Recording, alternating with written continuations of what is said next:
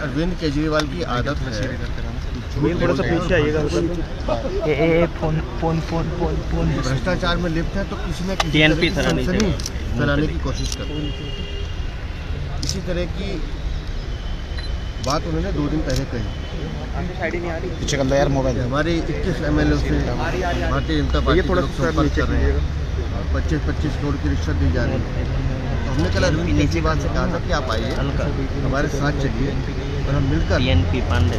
Police में complaint करते हैं कि इसकी जाँच की जाए कौन लोग हैं जो आपसे बात कर रहे हैं? लेकिन आदतन अरविंद केजरीवाल झूठ बोलकर भाग जाते हैं आज नहीं आए।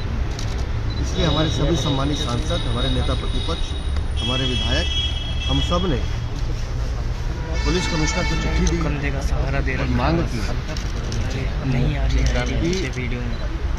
इस तरह की जो आदत है जो पत्थर फेंकना और भाग जाना ये लोकतंत्र के लिए ठीक नहीं है। तो इसकी एक एसआईटी बनाई जाए स्पेशल इन्वेस्टिगेशन टीम बनाई जाए इस पूरे प्रकरण की जाँच की जाए जो भी दोषी हैं उनके खिलाफ सख्त कार्रवाई की क्योंकि अरविंद केजरीवाल झूठ बोलेंगे और बच के चले जाएँगे ऐसा संभव नहीं है क्योंकि आप लोकतंत्र को मज़ाक समझते हैं। आप अपने भ्रष्टाचार से लोगों का ध्यान हटाना चाहते हैं।